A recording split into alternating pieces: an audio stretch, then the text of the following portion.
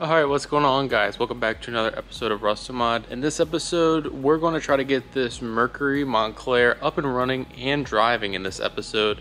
So follow along so we can see if this thing actually drives on the road. In the last episode, you saw us clean the interior out and get this thing running and driving for the first time in many years. So now we're going to try to work on getting brakes getting fuel, and getting this thing roadworthy so we can get this thing back on the road after sitting for many years. We found this thing in a swap meet all torn apart. We ended up putting the entire thing back together and now we're going to try to get it back on the road. We got tags and registration for it, so we should be good to go to actually drive this thing. So pretty excited. Hopefully we can get the fuel system and everything else dialed in on this car. So stay tuned and we'll see how far we can get. All right, so the next thing that we're gonna do on this, now that we got it running, is we're going to fix the brakes on this. So there was no brake fluid in this master cylinder when we got it. There's some parts for some wheel cylinders in it, so I assume the wheel cylinders are bad. So while we go ahead and change all those, we're going to upgrade our master cylinder from a single bowl master cylinder to two. And that way we have a reservoir for the front and the back brakes in case one of them fails you will have at least front or back brakes to be able to stop the vehicle unlike you do with a single pot master cylinder. So we're going to put this on. This is actually out of a 67 Mustang and it apparently will be able to bolt right up to our firewall. So I just popped this out real quick and then I'm gonna pop this one in, gonna bleed the master cylinder first, pop it in and it should be good to go with upgrading the brakes. That way we can have a modern master cylinder in this thing also. So we'll get ready to bleed this thing, throw it in, and then we can hook up all the lines and bleed the brakes.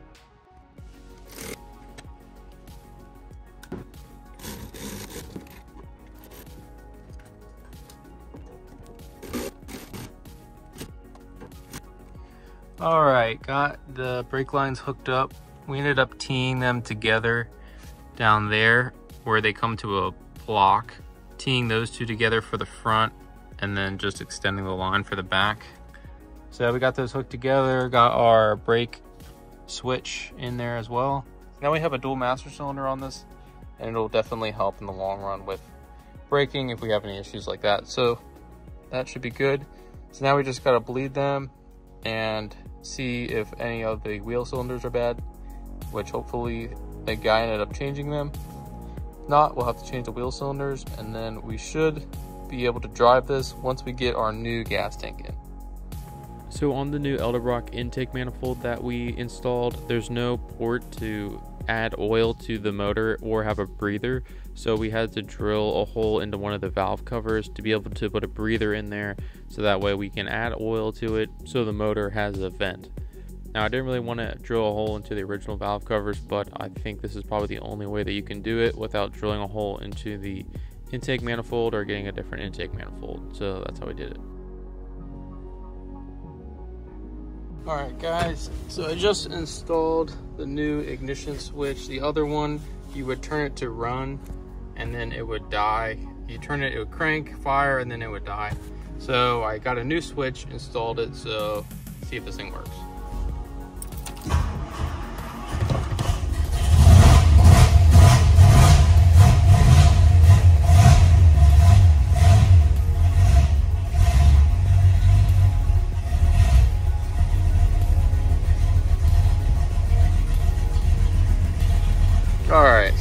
Ignition key works. Yay.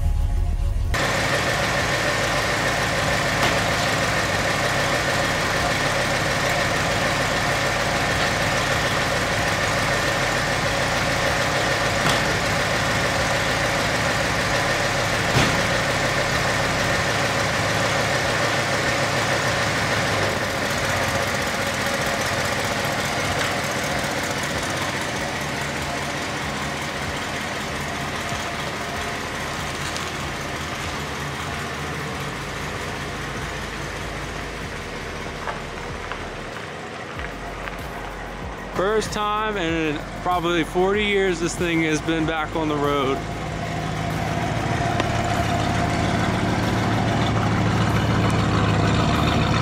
Pretty cool. Sounds great. Runs really good.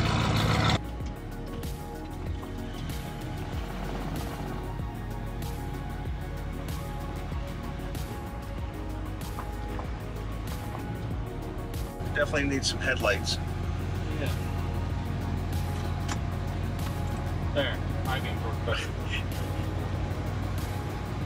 It's like parking lights.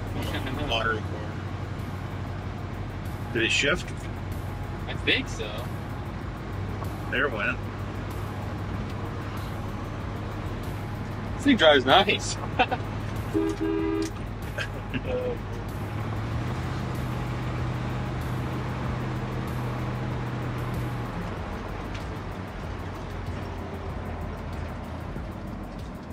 Definitely need to re-bleed the brakes.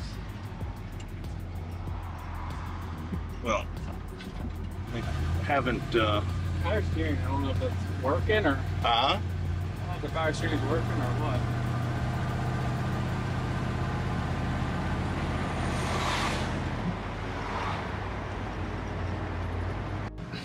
First drive worked pretty good. So now I guess we got to get the gas tank in so we don't have that and rebuild the fuel pump. Probably bleed the brakes again, but looks like it's running and driving pretty good.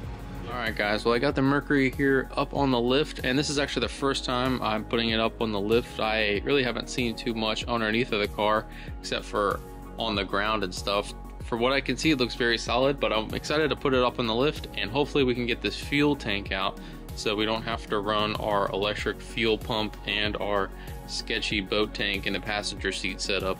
We can actually get some gas in this thing and drive it on the actual road instead of just driving it around our little block here. So we'll put this thing up and we'll see what it looks like underneath.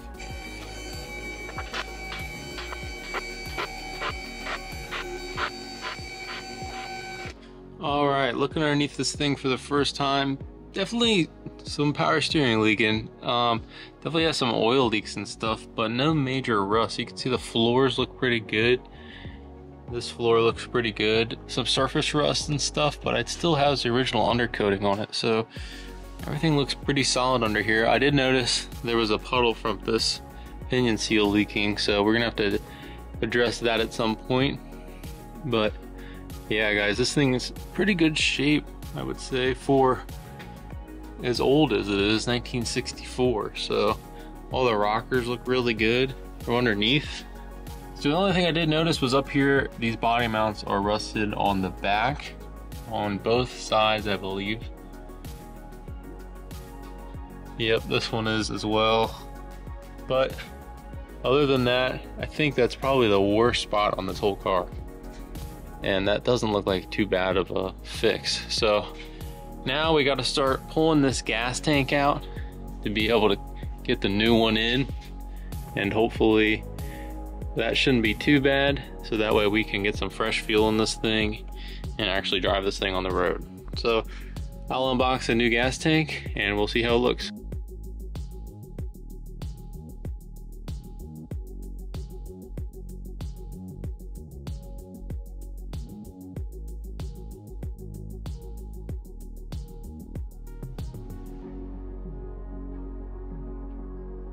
All right, so we got the old gas tank out. Definitely some very old gas in there. And then we got the new gas tank here.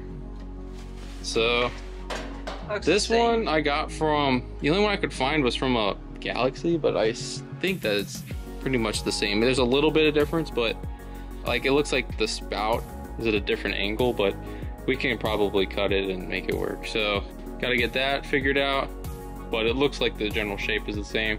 The sending unit looks like it's in the same spot. So here's the underneath. It's like brand new metal under there. Pretty crazy. Never seen daylight in a hundred years. pretty cool. But now we can uh, switch everything over from this tank to this tank, figure out what we're gonna do about that, and then put it back in.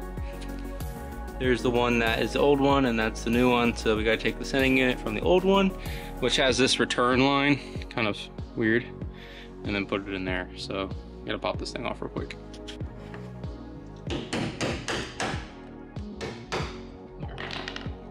That's pretty good, actually. Yeah, way better than.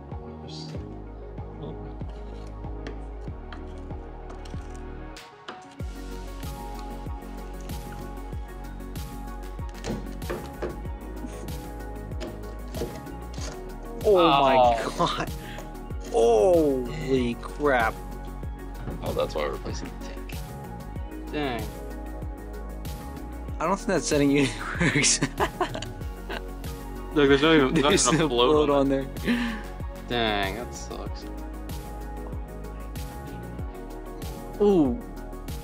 Dude, that's the little filter. Uh, that's really bad, huh?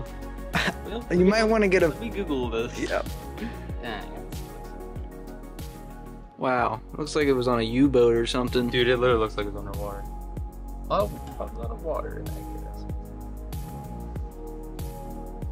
gas. Is there a turn line? Just like, huh?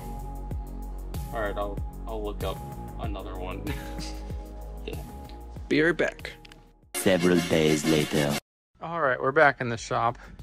Last clip you saw, I ended up pulling the gas tank out of the Mercury because our sending unit was all rusted. So I got the new gas tank here. You can see I had to cut and re-weld this at a different angle so it fits into the Mercury fuel cell. This is out of a Galaxie. And I ended up buying a new sending unit. So now it should all be new. The other one was really rusted. So going to put that in the Mercury, and then I should be able to run a fuel line, and our fuel system should all be brand new. So, going to try to put this stuff in, and hopefully, we could finally drive this thing on the road. I've had it for so long, I have tags and everything for it. I haven't been able to drive it on the road yet. I also got some wheels and tires for it too, so while it's up on the lift, we could try to put those on too. All right, so now I just got to put the gas tank in there, measure for the filler neck, and run some fuel lines. So let's get to it.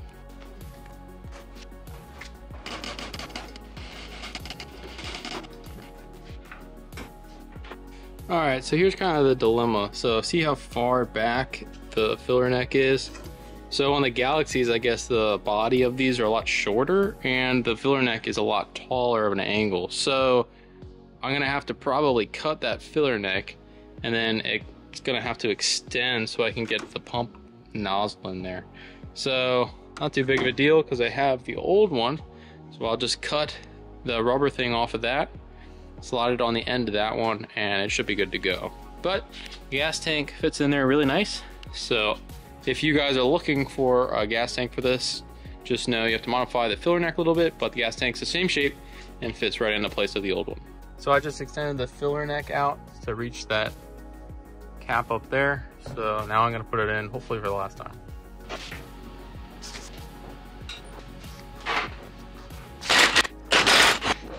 All right, so now pull it open, it's the right length. And that is it for the gas tank. So now I could just run some gas lines to my fuel pump. So if you've been watching my videos for a while, you know that I really like old body cars, but I really like them a little bit lowered and pretty simple, and I like just steel wheels. So originally this car has 14 inch steel wheels on it, and I really wanted to kind of maintain the look because I like the way that these look originally, but I want to be a little bit different and a little bit bigger. So I didn't want to go too crazy with this thing, and I just wanted to add a little bit more modern to have a little bit bigger of a steel wheel on it. So I went with these US wheels, and these are a 17. And it's really kind of hard to fit wheels on these things because you can see how close the bumper is to tire. So this is going to be lowered a little bit, but I went with a 17 by 8 inch wide. That's pretty much about as wide as I could go on the front. Now the back, I only mounted two of these because I probably could have fit a 10 inch wide on the back. So I'm not really sure if I'm gonna keep the 8 inches because you can see how much more room I can still fit under there or go with a 10 inch. But I'm not really sure how low I'm gonna go with it yet. So if I go lower, I'll probably keep the 8 inch. If I don't, then I'll probably go with a 10 inch, make it a little bit more wider in the back, but quite a bit of room for tire on the back of this car. So it's kind of hard to see it right now, obviously, because it's still in the lift. But when I get all four of them on, I'll roll it out and uh, we can see what this thing looks like. I got my fuel line all hooked up there. I just ran a rubber hose up there because these lines were filled with dirt, so nice and easy. So now I'm gonna go and we're gonna lower the back two inches. So I got some lowering blocks, just gonna throw in here real quick. Should be pretty easy. Just undo the U-bolts on both sides and then put the block in and then I'm gonna drop it down and see what it looks like. Really wanna see what that looks like before I try and make up my mind on the rear wheels. So I'll throw that in real quick and then lower it down, see what it looks like. All right, so we got the U-bolt off. So I'm just raising the rear up and then we can start blocks. All right, a little bit of a challenge, but I got both the two inch lowering blocks in. So I just gotta lower it down. Might have to get shocks, I'm not sure. And then we'll see what it looks like. All right, we're gonna lower it down. So, moment of truth here, see what it looks like.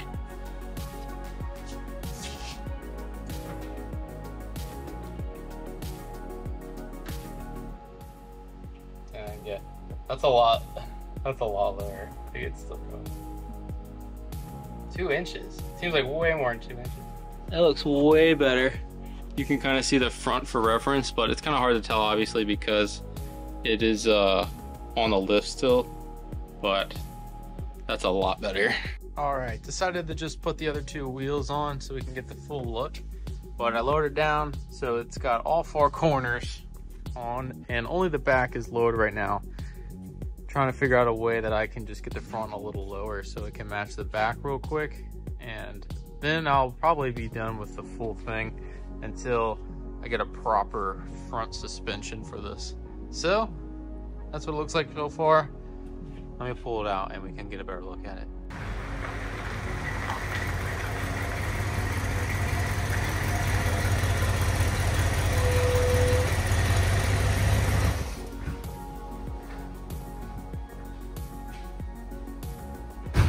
All right, got it pulled in here and you guys can see kind of the look that we're going for. So that's what it looks like now. Obviously the back is a lot lower than the front. So I'm gonna have to figure out a way to lower the front. But as of now, that's the look we have. So definitely really happy with these wheels. I think they look pretty good. All right, figured out how to lower the front of this. We actually ended up just heating up the spring for now, and then it actually sagged the front two inches down, and then that meets the back, the two inch block that we put in there. I also ended up just getting some hubcaps for it to make it pop a little bit, kind of add some depth to the wheel. So we got the front meeting the back. Now we got the wheels and stuff on the Mercury, I wanted to clean it so whenever we get everything together, it will look really good. So we're gonna do that with the help of the Sweet Patina polish that they sent us. So if you guys are interested in this kind of polish, kind of for older paint like this, uh, go down the link below and use our promo code in the description and you can get a discount off of your order from Sweet Patina. So they sell this polish there and apparently it's supposed to work good with old paint like it has on the Mercury. So we're gonna try it out and see what it looks like. I'm also gonna get some SOS pads and clean up the chrome on the front bumper. So we're gonna see how that looks also.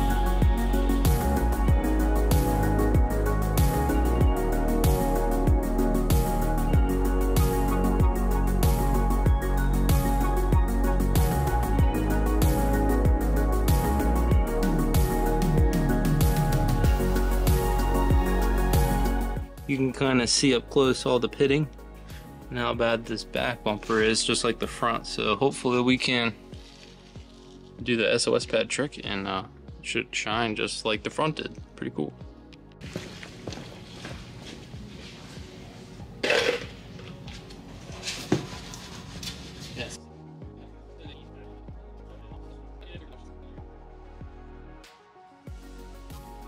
Check out the difference from that to that. You can't even see my reflection in that.